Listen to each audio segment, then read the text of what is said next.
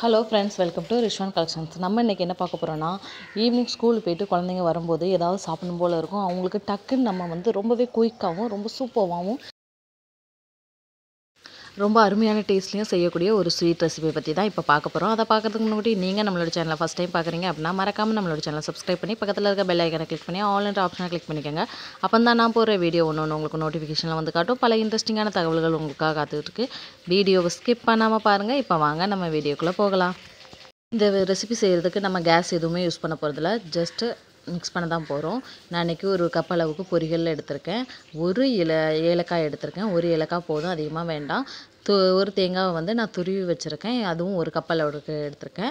அரை கப் அளவுக்கு சுகர் எடுத்திருக்கேன். இப்போ நம்ம எடுத்து துருவி வச்சுருக்க ஒரு கப் அளவுக்கு தேங்காவை இந்த மிக்ஸி ஜாரில் நம்ம சேர்த்துக்கலாம். சேர்த்துட்டு அது கூட ஒரு கப் அளவுக்கு பொரிகளில் வந்து நம்ம சேர்த்துக்கலாம். சே- ஒரே அளவுக்கு எடுத்துக்கோங்க. அப்போ தான் டேஸ்ட்டு சூப்பராக இருக்கும். அது கூட ஒரு ஏலக்காய். நான் எடுத்து வச்சுருக்க ஒரு அரை கப் அளவுக்கு நான் வந்து சுகர் இதோட ஆட் பண்ணிக்கிறேன். இவ்வளோ தான் போதும். இதை நல்லா ஃபைன் பேஸ்ட்டில் அரைச்சிட்டு வந்து காட்டுறேன் பாருங்கள் இப்போ எனக்கு நல்லா ஃபைன் பேஸ்ட்டில் அரைச்சிட்டு வந்துட்டேன். உங்களுக்கு பார்த்தாலே தெரியும் இது எந்த அளவுக்கு வந்து இருக்குது அப்படின்ட்டு.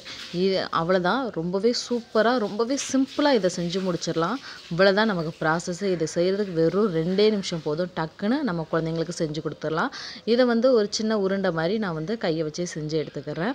உங்களுக்கு எந்த சேஃப் வேணுமோ அந்த சேஃப்க்கு தாராளமாக இதை உருட்டி எடுத்துக்கலாம். இது உடையாது எதுவும் பண்ணாது. சூப்பராக இருக்கும். சாப்பிட்றதுக்கும் அவ்வளோ டெலிஷியஸாக இருக்கும். அந்த அளவுக்கு இது ரொம்பவே சூப்பரான ரெசிபி தான்.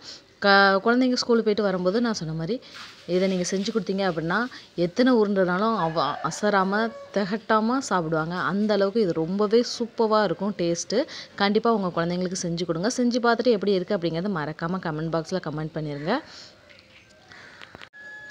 பாருங்கள் இந்த மாதிரி நான் வந்து உருண்டை வந்து பண்ணி வச்சுக்கிறேன். ஃபுல்லாக உருண்டை பண்ணி வச்சுட்டு என் பைய குழந்தைங்களுக்கு கொடுத்தா ரொம்பவே அருமையாக இருக்கும். இந்த வீடியோ உங்களுக்கு பிடிச்சிருந்துச்சி அப்படின்னா லைக் பண்ணுங்கள் கமெண்ட் பண்ணுங்கள் ஷேர் பண்ணுங்கள் மறக்காமல் நம்மளோட சேனலை சப்ஸ்கிரைப் பண்ணி சப்போர்ட் பண்ணுங்கள் உங்களுடைய சப்போர்ட் எனக்கு எப்போதுமே அவசியம்.